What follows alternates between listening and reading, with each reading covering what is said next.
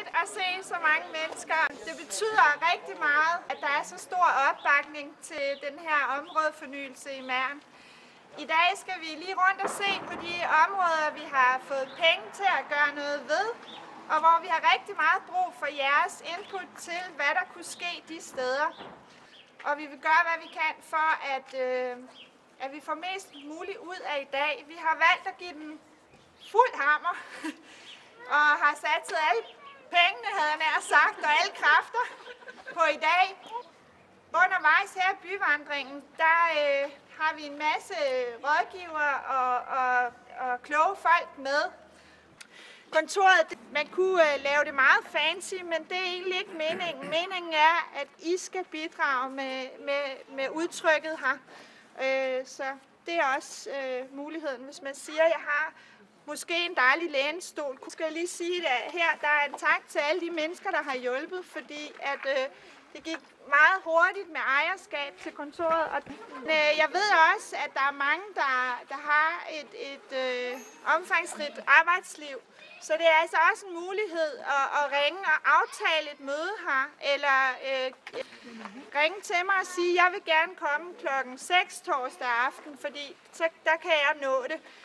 Men lige nu, når vi står her, så er der en enkelt ting, jeg lige vil nævne, og det er, at øh, i forbindelse med det T-kryds her, så vil den der helle, resterne af den helle, vi har hævet, den bliver nedlagt, som er, er vej nu, men som bliver inddraget til fortorv eller parkeringsplads, eller hvad det nu er, folk forestiller sig, der kan laves. Så der er nogle muligheder i det her. Så. Det grønne kryds, det der er på spil her nu i det her grønne kryds, og der vil vi gerne søge nogle ekstra penge til at få, få anlagt en sti, som øh, man kan færdes på med, med rollator og med barnevogne eller krykker, eller hvis man bare er dårligt gående. Altså jeg tænker jo, at alle i Mæren kender sundhedsstilen, fordi det har været sådan et stort projekt igennem mange år. Men, men øh, jeg vil bruge øh, lejligheden til at ligesom sådan fortælle lidt om den succes, som, som den er et udtryk for. Og det er jo også en, en milepæl i forhold til det arbejde, som lokalrådet har lagt i at forbedre forholdene øh, her i, i Mærnområdet.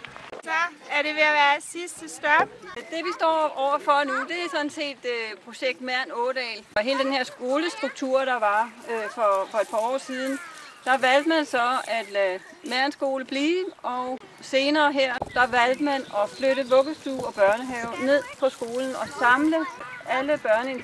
Og det er jo et vigtigt omdrejningspunkt for enhver landsby. Og i den forbindelse, der, øh, der tænkte øh, nogle af lærerne, de tænkte stort og ud af boksen og begyndte at, at, at, at foreslå. Øh, så de forestillede sig, at man simpelthen købte hele det her areal, som går op til for enden af poplerne, og helt ude langs med, med den øh, nye anlagte øh, markvej, der går derover, og så her hen til den markvej, der er her. Der er faktisk også indtænkt, at man kunne have en udendør plads til gudstjenester og Sankt Hans Plads og andre områder her, som kunne samle byens borgere. Planen den vil også ligge øh, ind over i forsamlingshuset, når, så man kan kigge nærmere på den derovre. Øh, og, hænge, og den hænger også på væggen, hvor, så man kan gå helt hen og se, hvad er det egentlig, ja. det går ud på. Ja. Velkommen, og hold jer ikke tilbage med kaffe og kage og spørgsmål, hvis det er. Øhm, jeg præsenterer nu øh, med en områdefornyelse, det som øh, der er, det handler om her. Hvad er Mærn områdefornyelse? Hvornår får Mærn nye veje og fortog? Hertil er Knud kommet fra vej trafik, vej. Og så skynder vi os at putte jer ud til det arbejde, som øh, vi håber, I øh, vil gøre en indsats for at yde, nemlig øh, jeres forslag, idéer. Og øh, der har vi forberedt nogle workshops herude øh, til, til forskellige emner, øh, men det skal vi nok hjælpe jer med. Og så øh, vil de aktive grupper præsentere sig. I vil have hørt om, at der er, nogle, øh, der er sket nogle ting her i Mæren, siden, øh, siden projektet startede. Øh, og dem, der har sat gang i det, de vil lige kort fortælle noget om det, og hvordan man kan være med. Jeg ved ikke, hvorfor den er blevet så mørk, men øh, det her det er forsiden på øh, den ansøgning, vi sendte ind i april øh, 15 til Ministeriet for By, Land og Bolig. Vi lå lige i venteposition øh, hele sommeren over og, og lidt af efteråret, da vi så endelig får svar i september fra øh, et ministerie, der så er blevet omdøbt til Udlændinge, Integration og Boligministeriet. Så det er nu det ministerie, der har støttet områdefornyelsen. Og det er som bekendt minister øh, Inger Støjberg. Det er derfor, jeg har sat et billede ind af, af hende. Og øh, det, er, det er altså hende, øh, der er chefen øh, i, i, i den her ministerpulje, som, øh, som, hvor vi har hentet de her penge. Og øh, det første møde i ministeriet, der sendte Inger Støjberg mange hilsner til Mæren. og øh, det vil hun da meget gerne komme og besøge, når det engang øh, var færdigt her. Så må vi se, hvad der bliver det. Det er for ligesom at sige, det er hele baggrunden, det er hele det arbejde, der ligger bag at hive sådan et, øh, et projekt hjem til kommunen. Det er finansieret med, med 1,2 millioner fra ministeriet, og så skal øh, kommunen så selv øh, lægge øh, det resterende beløb, som øh, er 2,2 millioner deromkring, så vi alt når op på en 3,5 million. 2,3 millioner er, er afsat til det fysiske miljø, det vil sige øh, til de to områder, vi har kigget på i dag, som er det grå og det grønne kryds. Det er kun til det fysiske udførelse af, af arbejde i det. Så er der ud, afsat øh, 735.000 til trafikale, særligt trafikale foranstaltninger, og, og hvad de end måtte blive, det kunne være vejbom, fodgængerovergang, be, vejbelysning. Så skal der skrives et program, hvor i det fremgår, hvordan bliver pengene brugt, til hvad bliver de brugt, og øh, hvem er involveret i det. Og det er jo også det, der er særligt ved den måde, vi har valgt at gøre det på her. Det er, at i normalt så øh, foregår det sådan, at når man får sådan et projekt hjem, så sidder vi inde på kommunen, og så tegner man nogle projekter på, på det sted, øh, der er kommet penge til. Og så holder man sådan et borgermøde her, og så stemmer man om forslagene, og så bliver det sat i værk, og så bliver det udført, og så er det så, at erfaringen er, at borgerne siger, hvad skete der lige der? Øh, hvorfor har kommunen plantet et træ der? Og hvorfor står bænken der? Der sidder vi der aldrig. Vi ville da hellere have haft et klatretårn eller en, øh, en grillplads eller noget andet. Øh, så derfor øh, har vi i de her projekter, nu øh, pilotprojektet startet på Østmøn, og så har vi haft et forsøg i Kalvehave, og det her i Mæren, det er jo så en, øh, særligt fordi, at der rent faktisk er øh, forudgående penge til at, at lave nogle fysiske ændringer i miljøet. Og derfor har vi altså valgt, at de 390.000 der, at, at bruge nogle af de penge på netop øh, kontoret her i byen. Programmet for hele områdefornyelsen, det skal afleveres den 30. september Øh, så nogen kan måske godt få øje på, at, at vi har en lille smule travlt. Øh, så derfor håber vi i dag at få endnu flere øh, ting ind, således at, at Peter som arkitekt kan gå tilbage og, og lave et, øh, en plan, et, en, en, nogle tegninger, der gerne skulle svare til at tage højde for alle de ønsker og idéer, der er her og behov bliver simpelthen øh, tegnet ind, hvad, hvad er det, der dukker mest op og hvad er det, der er mest brug for. Fordi pengene rækker jo ikke uendeligt, men derfor vil vi gerne have, at man tænker stort alligevel, fordi kan man måske hente penge fra nogle andre puljer, eller kan man øh, ændre formatet af den idé, der kommer på banen, så kan man måske også gøre noget andet der. Erfaringen lige nu er, at der faktisk er mange borgere her i Mæren, som har fantastiske idéer til, hvordan vi kan øh, forskønne byen, uden at det behøver at koste os særlig meget.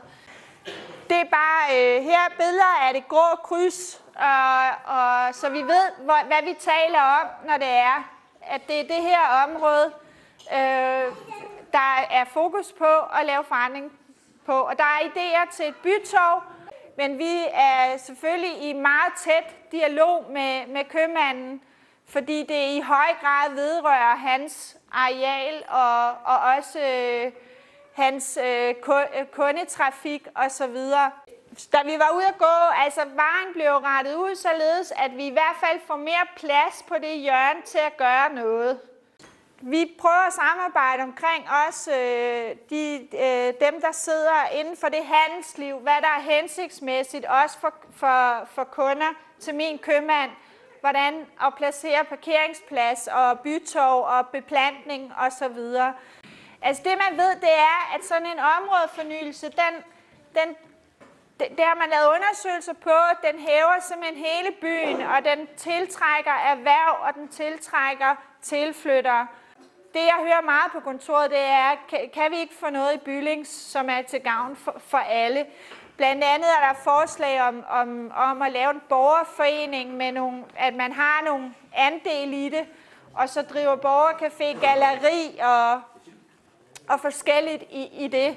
I hvert fald vil det være sådan, at lige så snart områdefornyelsen er i gang, så vil, vil bygningen stige i værdi. Det er sådan et lille tip til, at hvis man går, har gået med tanker om, at, og, og, at, at man kunne tænke sig at, at lave noget der, så, så, så skal man købe den nu. Vi har inde på øh, idékontoret, har vi, og det, ja, det skal jeg også huske at sige, øh, ved indgangen derhen, der er, står sådan en tavle, hvor man kan skrive sig på, hvad man gerne vil være med til, og hvad man, gerne, hvad man bakker op om.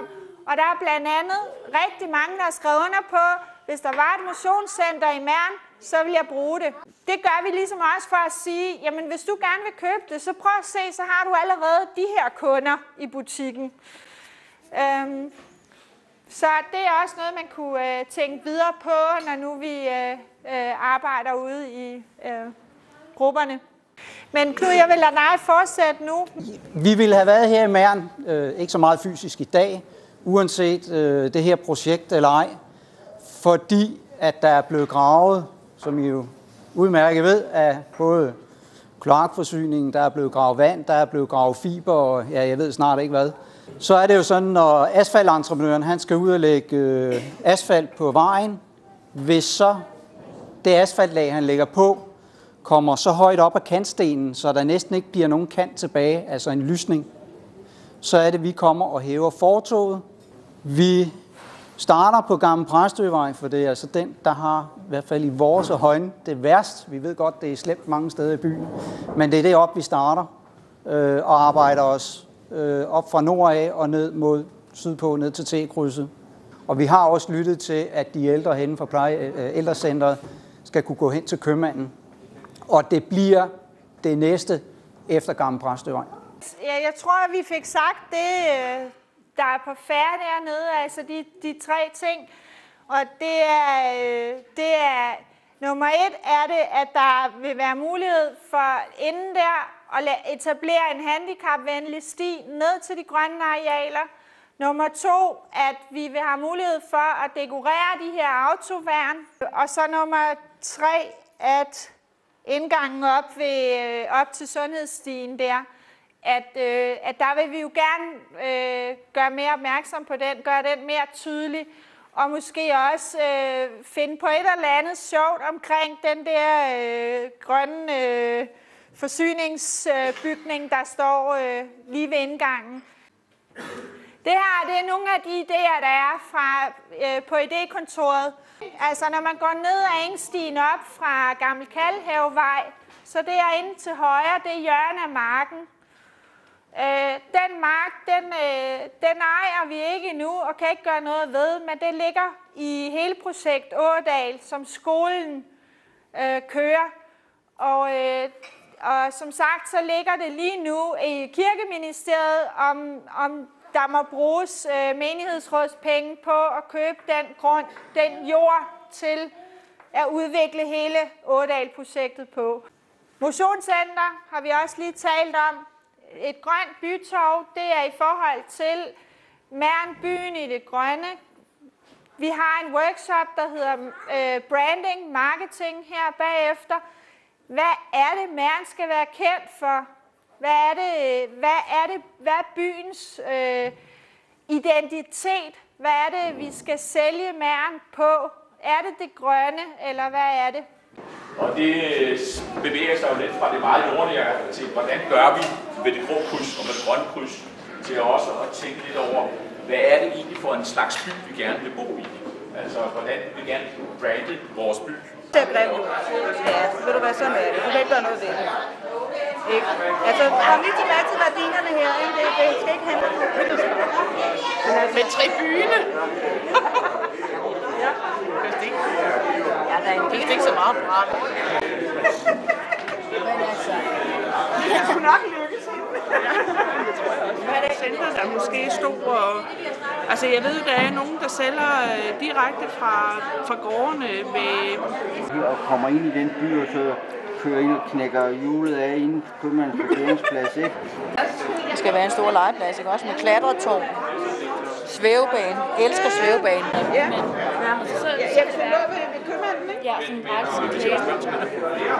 øh, at vi skal markedsføre mærken på, øh, hvad hedder det, det nye projekt over på skolen, øh, som en del af det, øh, grillhytten, og øh, den grønne by, som Linda har talt om, som er hyggelig at komme ind i. Øh, vi skal ligesom sige, at her i Mærk kan man komme ind, det er dejligt at være, du kan lave alt muligt sjov, øh, og du kan gå ned og spise med din øh, familie bagefter ned i grillhytten og grille, og det er det, vi, skal, vi synes, man skal bruge som blikfang i Mærken. Alle de projekter, der er gang med. Øh, og det er et hyggeligt sted at være. Og man kan have hele familien med, man kan tage vennerne med, man kan faktisk egentlig gøre, hvad man vil. Øh. Det kunne vi jo godt tænke os at snakke om med det der vandtårn der. Det har vi jo lige her på et af vores punkter. Det kunne vi jo da godt tænke at brande det i forhold til byen i det grønne, og få gjort noget ved det, eller rive lortet ned. Altså, hey, så kan vi lige så få et brand op, hvor der står byen i det grønne. Samskøben har et tårn, vi kan vel også have et tårn. Så har vi en gruppe, der hedder Byens Erhvervsliv. Jeg synes også, jeg så en del aktivitet der.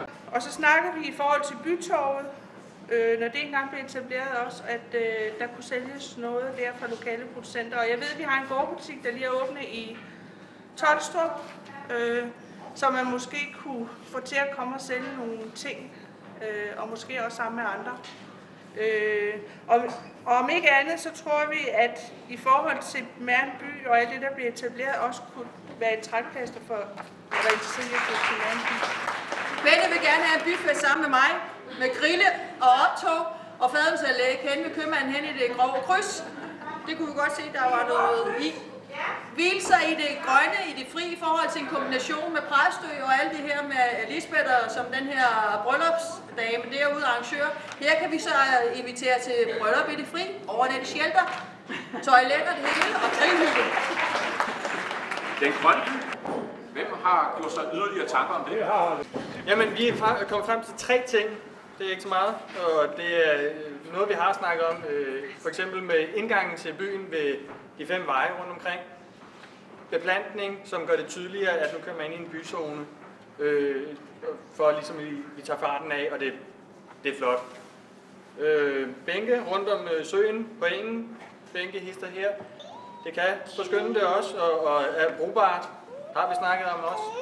Øh, men øh, belysning på øh, stisystemerne, for eksempel øh, bag ved ja, sundhedsstigen der, ved, ved, hvor man kan gå fra børnehaven over til kirken og over ved grillhytten. Altså sidder man om aftenen, og det bliver mørkt, så er det lommelygten frem, hvis man skal hjem. Øh, så belysning kan forskynde, så vi i det hele taget kan se byen. Det var det.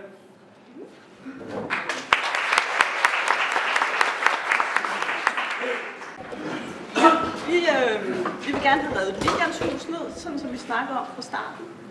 Øh, jeg kunne så også godt tænke mig at få reddet det hus ned, der ligger bag ved købmanden. Ja. Yeah. Og så lave ensrettet parkeringsplads, hvor man kører ind fra Kalvehavsiden og ud på Liliendalssiden. Og så det kryds, eller vejen, hvor Liliendalen ligesom skal skæres af nu, lave noget grønt eller noget beplantning eller et eller andet, så det bliver lukket helt af, man ikke kan komme ind i den del, og man ikke kan komme til at holde foran. Så har vi det grønne kryds, og øh, der har Holmtid været lidt involveret. Ja, det er det der grønne kryds der, der var, den lå deroppe sadlen, og så gik jeg op med den til Lille, som sidder deroppe ved siden af Linda, Lindas søster, og spurgte om det grønne kryds dernede, og der fortalte hun lidt om det nede ved åen, og der, normalt så bliver der plantet blomster, og Anne Bremer plejer at plante tagetes foran over i den østre side af autoladen. Men ellers så har vi jo været været igennem hele turen. Har du nogle kommentarer til det? Jamen, jeg er faktisk virkelig rørt over det arrangement, der er, og den positive tone, der er, og den opbakning, der er på alle fronter til det her. Det, det er helt enestående. Tusind tak, vi kom i dag. Vi har en, en fantastisk buffet, der venter.